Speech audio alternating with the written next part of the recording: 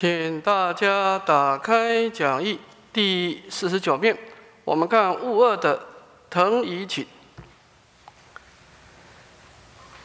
那么前面的经文呢，佛陀讲出了这种一心真如的甚深微妙法啊，那么来告诉这些三乘的修行者。说，其实你们不管怎么修，有一个东西你们是修不来的，啊，那么就是预告这个三证人，你不能对你所修的法门生就近想，尤其是阿罗汉。阿罗汉其实这个时候，几乎所有从舍利佛已去的诸大弟子，年纪都到晚年了，都跟佛陀差不多。其实佛陀也即将入涅槃了。且阿罗汉也是等着最后一刻都想入涅槃，他觉得他大事已办。但是佛陀这么一说，他说：“你们还是有很多东西不知道的。”那么这个时候，对阿罗汉们对涅槃的执着产生了动摇，啊，就先动执，啊，动执以后呢，就是让他目的就是在这一段让他升起疑问，啊，升起疑问。才能够向佛陀请法，佛陀才能够给他开示啊。那么透过前面的佛陀的这个摇动执着以后啊，佛陀这些舍利弗尊者果然产生的效果啊。那么这个地方有两段，我们先看经家序语。这个经家呢，就是结集经典的人啊，来说明当时大众心中的疑情啊。我们看经文。尔时，大众中有诸声闻、漏尽阿罗汉、阿若教陈如等千二百人，即发声闻辟支佛心，比丘、比丘尼、优婆塞、优婆夷，各作是念：今者世尊，何故殷勤称叹方便而作是言？佛所得法甚深难解，有所言说，意趣难知，一切声闻辟支佛所不能及。佛说以解脱意，我等亦得此法，道于涅槃，而今不知是意所去。那我们看看佛陀讲完前面的这种甚深微妙法以后啊，我们看看这些啊诸大阿罗汉、诸大弟子们内心是什么反应的。这个是结集经典人把它做了一个说明。他说：尔时啊，就在佛陀赞叹佛陀甚深微妙智慧以后啊。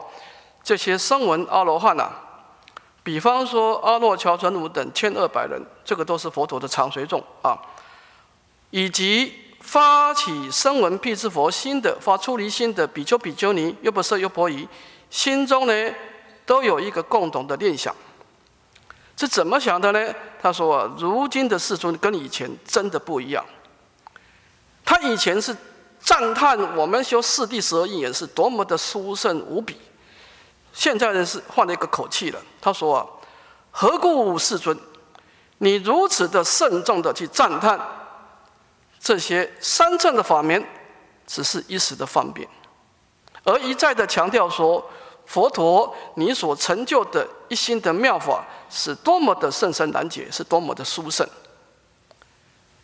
以及。”这个讲实质的殊胜，再讲前次，以及你从一心真如里面所开出的这些方便法门，它的真实意涵，意气难辞。就是说，佛陀的意就是说，难道我讲四谛，只是让你们成就阿罗汉吗？难道我讲十二因缘，只是让你们成就辟支佛吗？真的是这样子吗？那么这个时候，佛陀开始口气转换了，就是说。真正的意涵不是你们知道的。那么也就是说呢，这些真实的意涵呢，佛陀四摄这些教法的意涵呢，不是一切的声闻辟支佛，乃至于所谓的啊出地前的菩萨所能够知道的。那么这个地方是从这个地方到这里，都是当时的弟子反，等于是把佛陀所说的话。做一个反应，这以下才是他自己的疑问啊，就是他也就是说，其实佛陀所说的解脱的功德，啊，依此空性的智慧七向涅槃，这是唯一的解脱之道。而这个解脱之道，我们都已经成就了。换句话说，佛陀你说的涅槃，我们都成就了，难道我们还有什么不足的呢？啊，那么这个地方的疑惑呢的意思，偶一大师说啊，其实这些声闻人的疑惑有两两个重点。第一个，质疑所得。从佛陀赞叹为甚深微妙法以后啊，那么生物人觉得说，我证得的涅槃，真的只是一时的方便吗？啊，这是第一个质疑所得，怀疑自己所证得的涅槃是不是不圆满？这第一个。第二个，疑佛智慧啊，就是佛陀为什么能够有如此甚深微妙的智慧？换句话说。声闻人，他以前的智慧是认为佛陀也证得这个涅槃，我也证得这个涅槃是没有差别啊。所谓的同证无差，只是以喜不同耳啊。只是说佛陀的智慧高一点，我们呢，生物人啊，如烧木成炭啊，佛陀是佛陀没有习气啊，断烦恼一样，只是习气不同啊。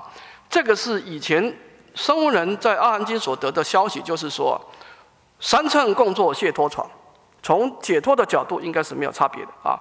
那么也就是说呢，这个疑惑就是说，为什么大家都成就涅槃，你也成就涅槃，我也解脱了？所谓的一解脱意，从这个生物人提出解脱只有一个，他们的表态就是说，其实佛陀你的涅槃跟我的涅槃都是成就的。那你为什么说你涅盘之后还有甚深微妙法？这个甚深微妙法是怎么来的？他产生疑惑了啊。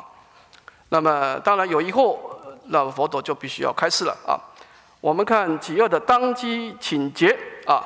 那么有疑惑还不过，他必须要请求佛陀开示来断除疑请啊。这个地方有三次的祈请，佛陀两次的遮止啊。我们看初请。出请当中分成两段，第一个是长行，先看长行。长行当中呢，舍利佛真实的前面这段疑惑只是内心的疑惑，那么舍利佛把这个疑惑呢，把它表达出来，从文字表达出来啊。我们看经文。尔时舍利弗知四众心疑，自疑未了，而白佛言：“世尊。”何因何缘？殷勤称叹诸佛第一方便甚深微妙难解之法。那么，舍利佛作为整个声闻弟子的智慧第一啊，他就必须要代表大家呢，来请佛陀开始啊，说舍利佛知道四众弟子的心中的疑惑，而自己也不能够决断，所以就白告佛陀说啊：“说世尊。”到底是什么因缘？你老人家现在要赞叹诸佛的第一方便，说是三正法门的目的，意气难知啊！佛陀施设方便，不是我们这些这些这些三正人能够知道的，而且佛陀所成就的甚深微妙法，也不是我们可以知道的。他提出了两点啊，实法跟全法都是不同的啊，这是第一个啊。那么提出疑问以后，就正式的祈请佛陀开始忍恶的陈请，看经文。我自昔来未曾从佛闻如是说，今者四众先皆有疑，唯愿世尊敷衍斯事。世尊何故殷勤称叹甚深微妙难解之法？那么这个疑惑从何而来呢？它的关键字就在这段了。因为我们一路走来，跟着佛陀学习所有的四谛法门，可以说是未曾从佛闻如是说。佛陀从来没有讲到你老人家有甚深微妙法是我们不知道的，也从来没有说这个四谛十二因缘成就涅槃只是个方便。你老人家这两在这两件事都没说啊，所以当然世众就有疑惑。唯愿世尊能够把这件事情为我们讲清楚。就世尊为什么赞叹微妙法，也赞叹方便法门啊？我们说明一下，生物人的心态，我们必须要把它的过程解释一下，他为什么有这个心态？佛陀很多弟子都是外道，啊，不管是苦恨外道，不管是什么外道，那么来到佛陀的僧团以后啊，其实佛陀跟常随众的互动是很很多的，不像大菩萨，大菩萨是偶尔讲大正经，这些菩萨才过来，那么讲完以后就回去了，各回其所了。那么生物人可以说是经常跟佛陀行住坐卧、托钵吃饭，都是在一起的。我们看看释迦牟尼佛作为一个应化身是怎么教化弟子的。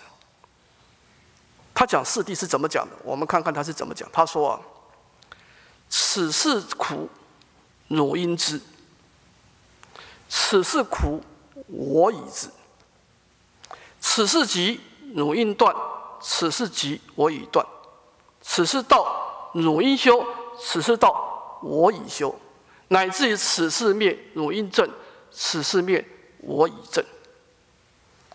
从这句话你可以看得出来，佛陀可以说是完全投入的跟声闻人在，就是说，不但你这样做，我也这样做；不但你这样修，我也这样修；不但你这样正。我也这样证，就难怪生物人会产生这么大的疑惑，就是你老人家以前的口气，就表现跟我们一模一样。我说：“哎，佛陀，你也是自苦断集莫变修道，就是我佛佛陀是用自己是过来人的态度来引手把手的把这些生物人从出国到恶果到四果一路的带上来。所以阿含死的时候。”佛陀没有任何的刺激他们，完全是鼓励赞叹。你们做的太好了，就是这样子做的啊！说是日可令冷，夜可令热，佛说是地不可令异。那么现在口气完全变了，说四谛法门是一时的方便啊！我的智慧不是你们可以知道的啊！当然，生物人的冲击是很大的啊！所以就是。我从昔来未曾从佛闻如是说，但也的确是这样啊。我为大师说啊，其实你说生物人心中知道自己有所不足，其实他们是知道的。你看佛，我为大师说有三段的因缘，他就知道了。第一段在华严时，他还是凡夫，在华严会上，佛陀把佛陀跟那些初地菩萨的十地菩萨的互动。啊！显现诸佛佛菩萨的功德，二乘在座，凡夫在座，如聋如哑，茫然不知。第二段因缘，这些的声闻人已经成就阿罗汉了，就方等死。佛陀要他们去跟维摩诘基金士问候。那么维摩诘基士跟文殊菩萨的不二法门，大谈不二法门，其实就已经把一心真如的中道实相开显出来了。这种即空即假即中的道理，啊。犹如莲花不足水，亦如日夜不足空，那种空有无外的思想已经现出来。其实阿罗汉那个时候，按照我为大师的说法，就是他是保住草庵的，他是很想知道，但是他无从了知，因为他不是当机众，他等于是旁观者啊，所以这个时候生物人是无从了知啊，所以他就自己很自卑败种，有自卑感，到了波雷会上。佛陀要须菩提转教菩萨，他们也知道，但是这个时候他们就已经无所需求，就算了。我年纪也大了，就不想进步了。那么也就是说，中道实相的甚深为好，其实生物人不是不知，关键是什么？他从来没有听佛陀亲口跟他们讲过。我从习来未曾从佛闻如是说，是的。佛陀没有把他们当当机众，指指名道姓的跟他们说，这个是你们不知道的啊。那么当然，佛陀这样子做，也就是佛陀必须要处理啊当初的方便，要把方便门打开了啊。所以这个就是为什么声闻人心中的疑惑，是佛陀过去讲的话跟现在讲的话的确有落差啊。好，我们看重诵啊，重诵当中呢，诵一二次。啊，就是前面是佛陀赞叹佛陀的智慧不可思议，佛陀的功德也不可思议，佛陀的方便也不可思议啊。那么我们看舍利弗尊者是怎么样的来先说他的疑情，看经文。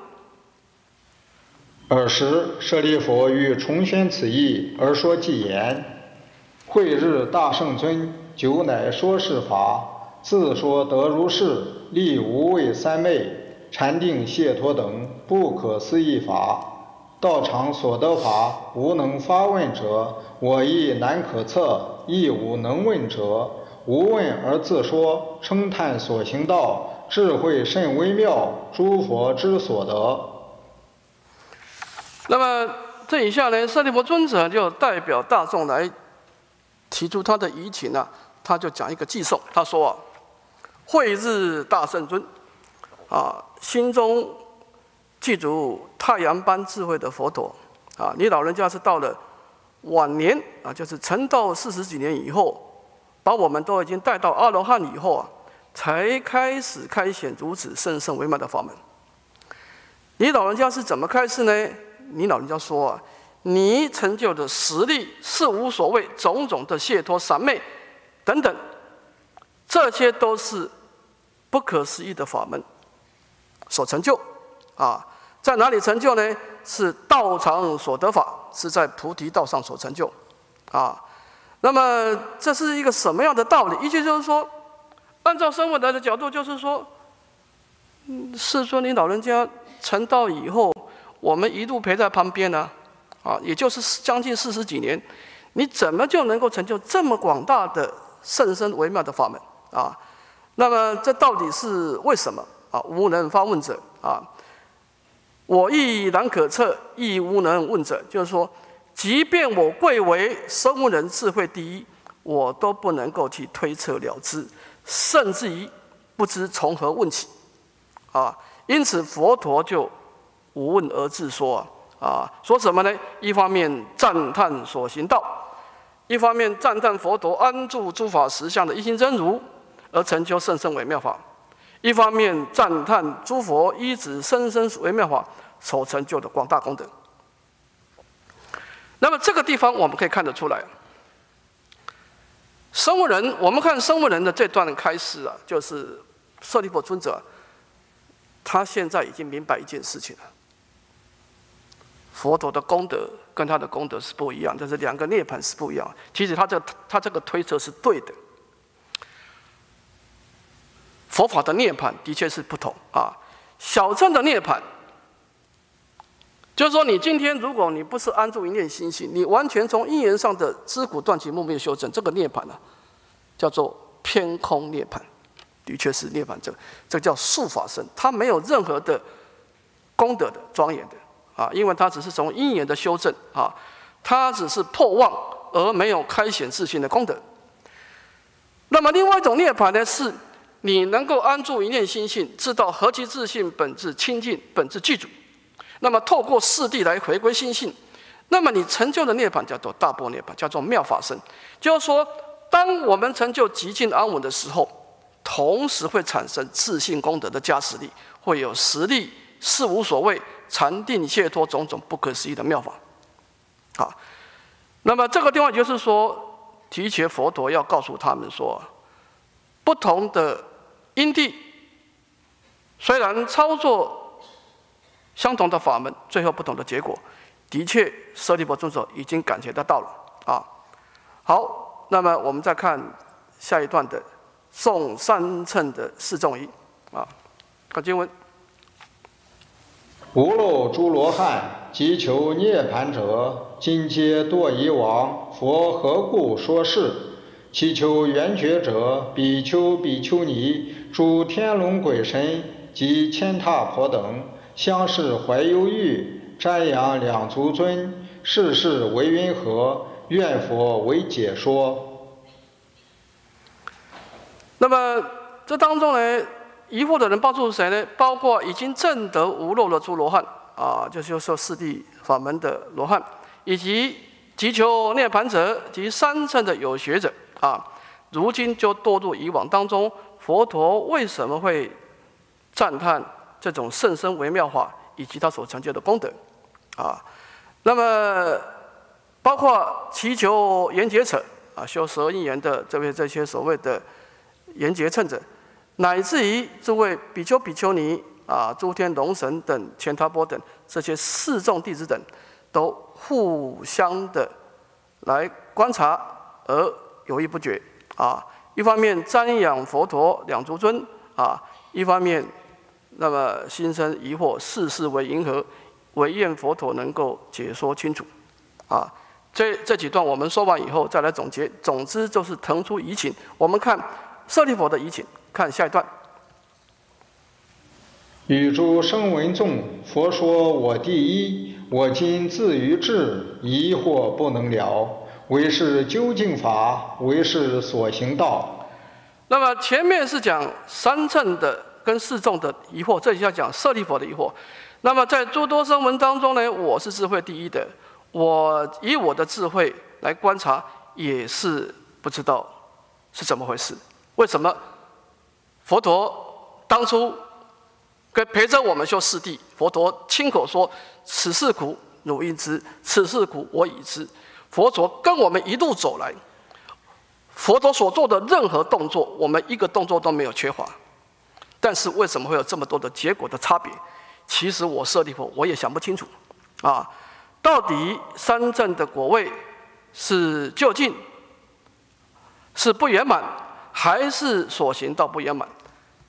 舍利弗就讲得很清楚了，到底是因地的四谛法门，我们是少修了什么？啊，为什么在果地上会有这么多差别？啊，因地是如何的不足，而造成的果地上的不圆满？啊，这个地方是舍利我提出疑情的，啊，这讲得更清楚啊。我们看下一段。佛口所生子，合掌瞻仰待，愿出微妙音，实为如实说。那么。我们都是经过佛陀啊教导四地法门所成就的佛子啊，现在都合掌一心的瞻仰等待，希望佛陀能够出微妙音来及时的回答，到底我们在修四地十二因缘的过程有什么样的问题，而造成这个结果有所不足啊？希望佛陀能够开示，看最后的总名同一致请啊。诸天龙神等，其数如恒沙；求佛诸菩萨，大数有八万。又诸万亿国，转轮圣王智，合掌以静心，欲闻具足道。那么与会的还有包括不但是圣人，包括六道凡夫啊，比方说诸天龙神呐，啊，有这么多的恒河沙，这么多一心一意的追求佛道的防卫的菩萨，大数有八万。也包括的有万亿国的转轮圣王啊，那么都来到法会上，大众都合掌以恭敬心，也是希望能够听闻这个圣圣微妙法啊。这个佛陀到目前呢，只讲了一句话，就是圣深微妙法，你们所不知道，就讲出这个名词。但是什么是甚深微妙法？大家就乱猜。我们看舍利弗啊，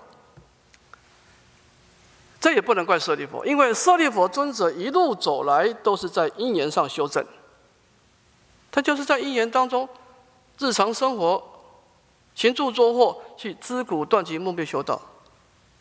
那么因缘的东西就两件，就是修因正果，要么因地有问题，要么果地上有问题。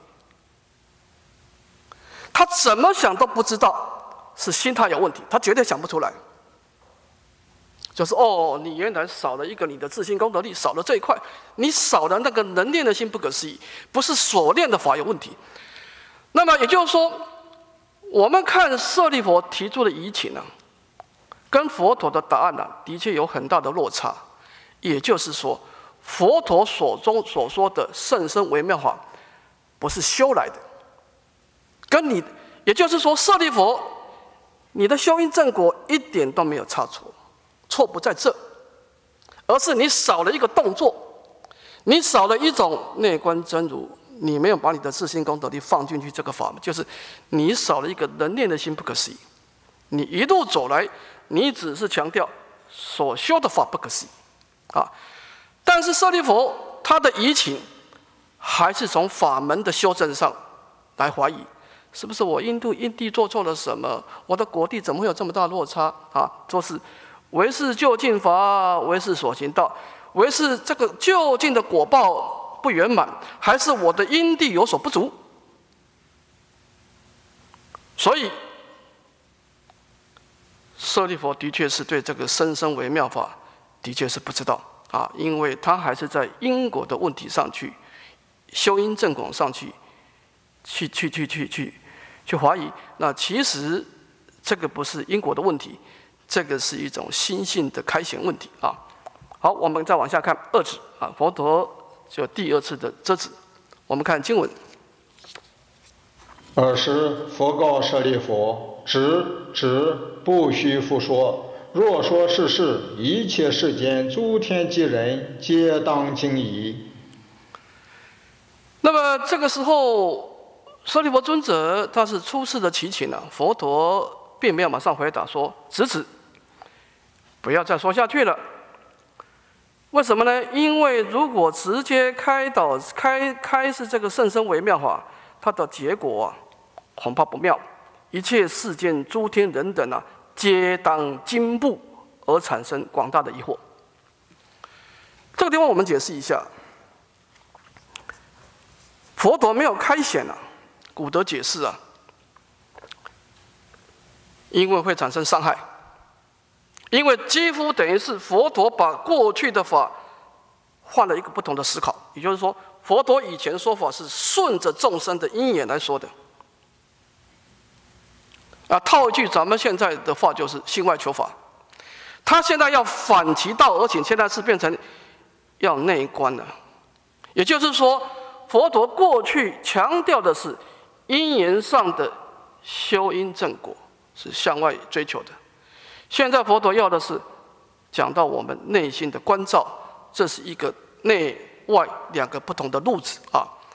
那么这样子的话呢，就有些问题了。古德说啊。因为这样子会产生五种进步，佛陀必须要先做一些心态的准备。第一个叫折损进步，有生人会产生重大打击。这个是谁呢？折损进步是谁呢？就是定性声闻。就这个人一路走来，从来就是他这个人从学佛以后啊，他什么经典都没看，就像我们净土宗一样，有些人经典以什么？他什么教理都不看的，就是只知道念佛。你突然跟他告诉他说念佛不一定往生，你必须要顺从本愿，要有心态相应。他的折损打击、信心打击是很大的啊。那么生物人也是这样子，生物人有一有一种生物人是，他从来没有见过大大乘法，不像舍利弗曾经修过大乘而退大取小。那么这种定性生闻一听到这种甚深微妙法，它会产生一种。善根的折损，这第一个；第二个，多事进步，就是这个很多事情，就是指地前菩萨。为什么菩萨会产生进步呢？因为地前菩萨久修勤苦啊，长时间的勤苦修学六度，你突然呢跟他讲说，重点不在因缘所生法，重点在心态，他自己会产生一种啊多事的进步。第三个悔恨进步。这个指的是不定性声闻，特别指的是舍利弗尊者这种曾经修过大乘，后来回小向大了。回小向大以后，佛陀跟他讲说：“我有甚深微妙法。”那么这个时候，这些曾经回小向大而退大取小的这些生物人呢，会产生广大的悔恨。我早知道我就不不退大取小，我就应该直接修大乘了啊！产生悔恨。第四个是颠倒进步，就一般的凡夫有烦恼，有烦恼的时候听到以后烦恼更重啊。第五个是最严重的狂傲进步，就是真善慢人。真善慢人他本来就不是为德为德为正为，他可能是出果，呃，讲是可能可能是出禅，把他误认为出果，把四禅误认误认为四果啊。那么他自己以为自己成就涅槃了，那听到佛陀甚深微妙法。那么很容易产生邪见，谤佛谤法啊。那么这四个、这五个进步呢，折损多是悔恨、颠倒、狂傲啊。按照古德的说法，前面四个佛陀都有办法处理，就是加强他们的信心，啊，但是第五个佛陀没法处理，就是你自己抬高你自己，产生高傲，那么佛陀只能让你用方法让你退席，因为这个事情佛陀没办法处理，就是狂傲啊，那么真善曼这个人是没法处理的啊。所以这五种人的进步啊，佛陀可以施设方便啊，他的方便呢，就是不断的暂停，喊暂停啊，让大家不断的增长信心啊，那么来摄受前面四种进步啊，来化解这种进步啊。我们看这个是佛陀第二次喊暂停，我们再看舍利弗尊者并没有放弃，第二次祈请，看经文。舍利弗，崇拜佛言：“世尊，唯愿所知，唯愿所知。所以者何？是会无数百千万亿阿僧祇众生，曾见诸佛，诸根猛利，智慧明了，闻佛所说，则能尽信。尔时，舍利弗欲重宣此意，而说偈言：法王无上尊，唯说愿勿虑，是会无量众，有能尽信者。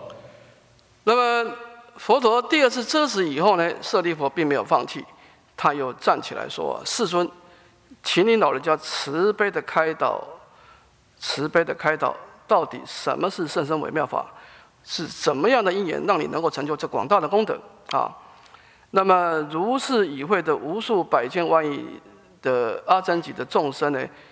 为什么我要你老人家慈悲开导？因为过去都曾经亲近十方诸佛，因此。”这种善根猛力啊，智慧明了啊，对于你老人家所开导的法门都能够清楚明了啊，所以闻佛所说这种甚深微妙法，则能心生恭敬而信受奉行。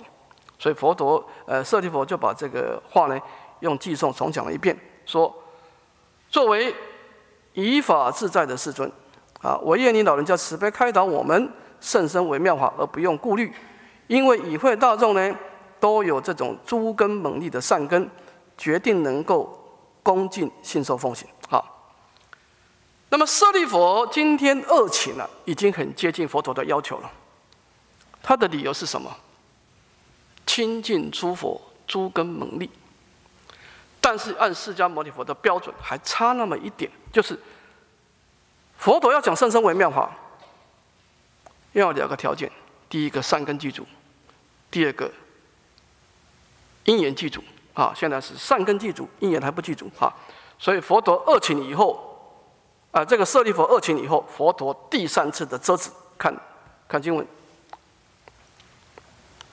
佛复持舍利弗：若说世事，一切世间天人阿修罗，皆当惊疑。增上慢比丘将坠于大坑。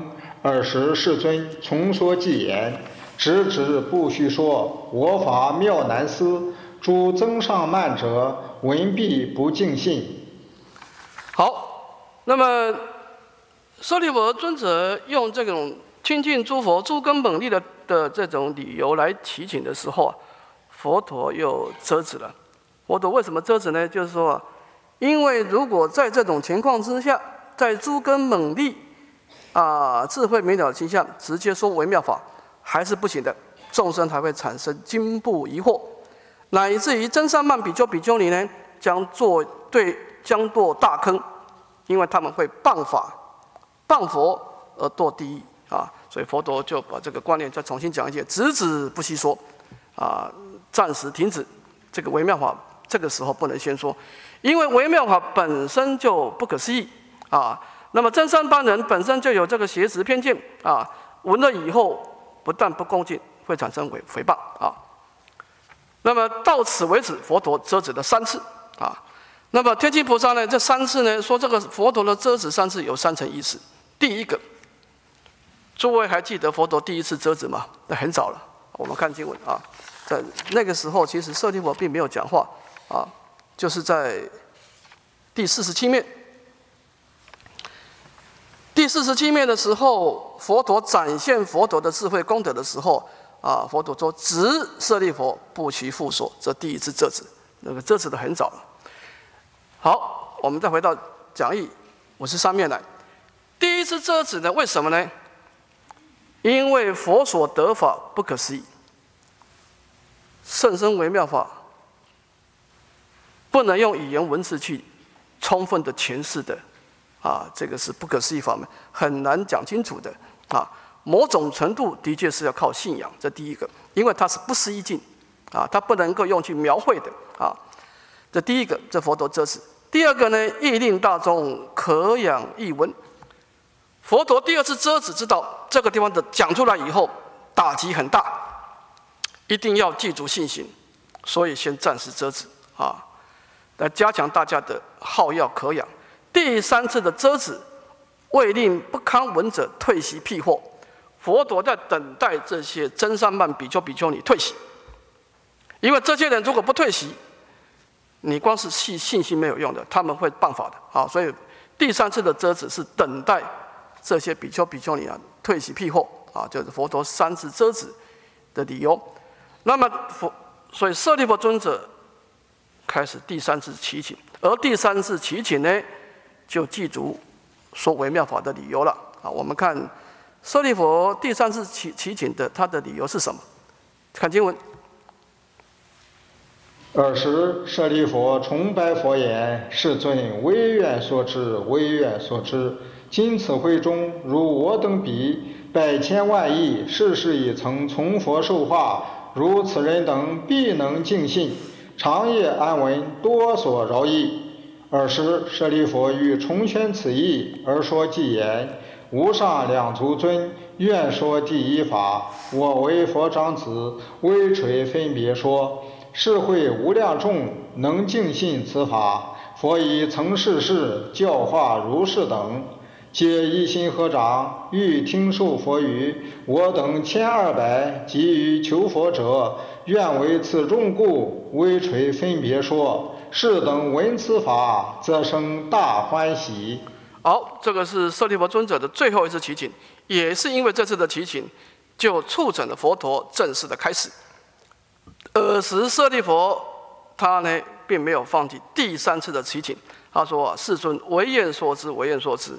因为今此会中，如我等四众弟子啊，百千万亿世世已成从佛教化，这个是关键了。”一般的法门，只要你善根具足就可以讲了，因为这个法门太特别了，它已经是超越过去的思考模式了。所以不但是善根具足，还必须跟佛陀有深厚的因缘。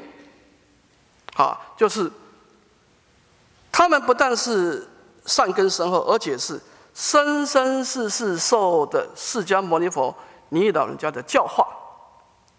格林老人家是因缘特别的深厚，所以如此等人必能尽信。一不一旦一方面是对法有善根，一方面是对人有因缘啊。那么这样子呢，就能够在长夜无名长夜当中呢，由于甚深为化微妙法的加持啊，在无名长夜中导造的极尽的安稳，就是他的心能够安住下来，不会一天到晚在因缘手上往里面追求啊。所以可以说是多所饶益，就是说他的这个涅盘的功德，再加上一心妙法的加持，那么大家都能够在道业上不断的突破啊！不但是能够尽兴，而且绝对能够受益。尔时舍利佛亦从先此意而说偈言：他说无上尊贵的佛陀，我愿领导人家慈悲开示甚深微妙法。我作为佛陀的长子啊。我代表大众，请佛陀慈悲为我等开示。因为如是已会的大众呢，决定能够恭敬的信受此妙法。为什么呢？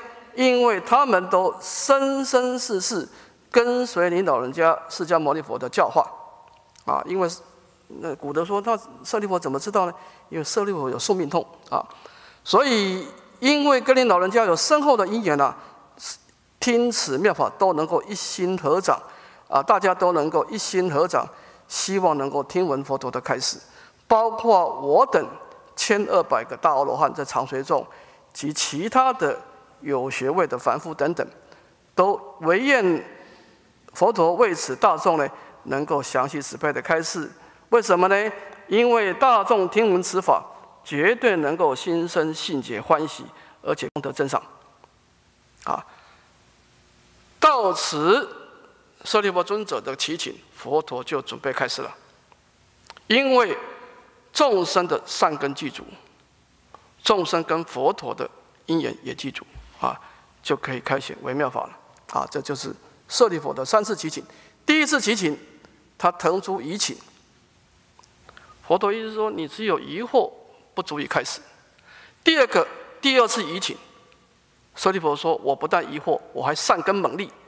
佛陀也说，这样子还是不够，因为众生会产生进步。第三次祈请，舍利弗说，我不但善根深厚，跟念老人家因缘甚深甚深，那么就可以了。啊，因为这个佛陀跟众生的有亲疏远近的差别啊，那么也就是说，一般的法只要依法就可以了，但是甚深微妙法依法又要依人，啊，这这这这个因为这个法门太特别了啊。好，我们经文先讲到这啊，这个这个是当然，我们一路走来看到。佛陀都是在处理法执的问题了。佛陀是这样规划的。我们看佛陀在教化弟子，他是先破我执，就是说这个法门很重要。啊，说是什么啊，日可厌冷，夜可日令热，佛说次第不可改变，你们就照这个法去修就好了。那么佛陀强调法力不可思议，就说你执着都没关系，我要的就是你执着。啊。那么用这种法力的执着啊，破除很多的虚妄，也的确大家很多进步。但是问题来了，也带了后遗症，就是一路走来，诸位。这个法子是这样，你要是不用功修行的，没有法子。所以我都没有法子，是的，因为你都没有用功啊，是吧？如果你想想看啊，作为一个圣人、声闻人啊，他是深受生命的痛苦啊，他也感受到生命的痛苦，他对痛苦是很敏感的。一路走来，谁陪伴他？四弟的陪陪伴他，所以，所以。为什么我们一般人是没有法子？他生生世世，他经过饥饿、寒冷、减少睡眠，他就把心住在这个法，因为有法力的支持，而陪伴他轮回当中的挫折，都是靠法的陪伴！诸位，现在佛陀跟他讲说，这些法门是暂时的方便，你可想而知他们的打击有多重啊！啊，所以你看，一个人法持重，就是他越用功的人，他法持越重，这正常啊。啊，当然，最理想的方法就是说，你一开始就就把它走对，那最好。就是说，你好要法，但是不要执，这样懂吗？就是因无所住。而生其心，当然我不知道，当然这不容易了哈。但是你要试着，就是说，你现在如果不把这个心态改变了，你以后就跟舍利弗一样了，这打击也很大了，这样懂吗？就是说，然后没事，我也不要学法华经，反正佛陀叫我怎么说我就怎么做，有佛陀要我拜山就拜山，要我念佛就念佛，那你以后还得走这一关，你这一关就可能在净土要，还是这一关你还得过，就是。你今天不如果不重视这个问题，佛陀要把你的法身拿掉的时候，你也很痛苦，你也是很疑惑了啊。那么我们为什么要事先学《法华经》呢？就是说，让你以后处理法执这一块简单一点，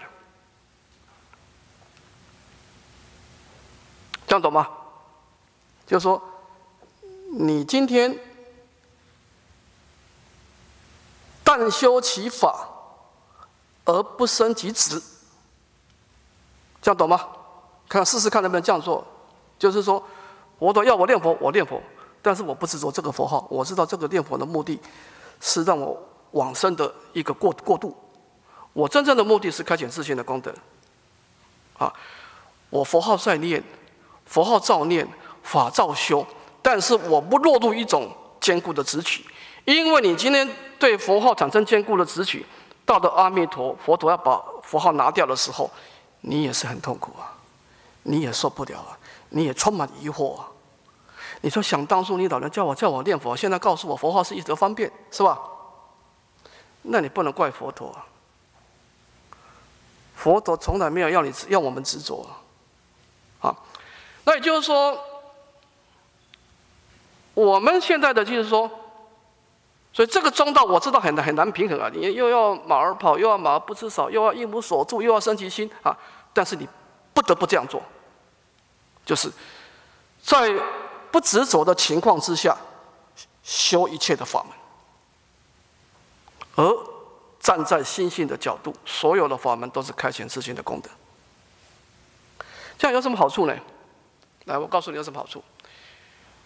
你的进步会比别人快，你的心会比一般人安稳，因为你站在心性的角度，心性是不生灭，因为是你本具的。我再讲一次。它不是因缘所生法，是你本来就这样子的，它叫不生灭性的。所以你遇到因缘的冲击的时候，你不容易受到干扰。你的心比一般的，尤其是临终的时候，你知道安住一念心性，你不容易受到这种时空啊什么什么十万亿佛土、二十万亿佛土，对你都不是问题了。你本身超越时空。那么你你的心安稳，等到你后来成就果位的时候，你不用多一道程序，消除法执的程序，因为你一开始就没有陷入太深。这个就是你学法华经的好处。我是觉得这样子的，你要学法华经呢。你眼光放远的人才会学法华经。你说我也不着急，我先把了生死的。就是说，你是从长远的成佛之道来看，反正这一关法子我迟早要过。我现在早修，以后我到了极乐世界，到了后半段，我走的顺畅一点。也就是说，当然法华经的角度，从离苦得乐也有关系了。因为你一个人陷入法执啊，你的胸量格局就变小了。啊，不但是因地改变，国地也不同啊。那么，总而言之，这一条路是成佛必经的过程。你今生不走，你说我今生也不着急，你以后还得走。啊，你越晚走，你要拔开你心中的法执。你的受伤痛苦进步越大，因为你对法的执着越深，啊，那么就是这个概念啊。所以我们一路走来，啊，到的意思就是说，你最好一开始成佛之道就走对，一开始就走对，啊，你千万不要一开始走走的方便，到最后回归回来的时候很难回来，因为法是没有对错。而且你长时间日日夜夜都是靠这个法支持着你，透过三界的痛苦，你可知道你对法的执着有多深？突然间佛陀要把把这个把法师帮你去掉的时候，你会受不了的。啊，那么，所以我们的意思就是说，现在学法华经很重要，是不是？就是这样，因为因为你现在是。以佛心，就是说你要成佛嘛，你要找到一个有效率的成佛的捷径嘛，啊，就是一佛乘嘛，啊，就是你今天重点不是你修什么法门嘛，就像佛陀后面说的，重点不是你是什么车嘛，关键是是谁来拉这台车啊？你法门修的再多，你心态不对，你那个车很漂亮，结果前面拉的是一是是是是是一个路。你进步就慢了，所以在这整个问题就是重点不在世修啊，在理观啊。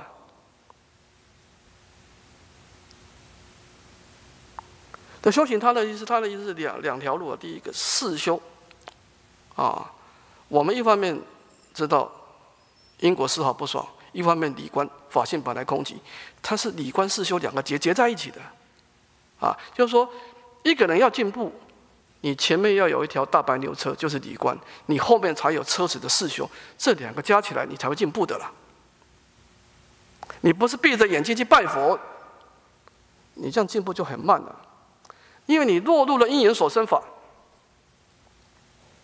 而不是安住在一念心性，那你就是迂回了，那只能靠回向了。啊，所以本经的意思就是说，你现在我们是凡夫，趁早找到一个修行的正确位置，啊，以后可以避免很多的问题，啊，是这个概念，啊，好。我们今天先上到这啊，向下文长负债来日，回向。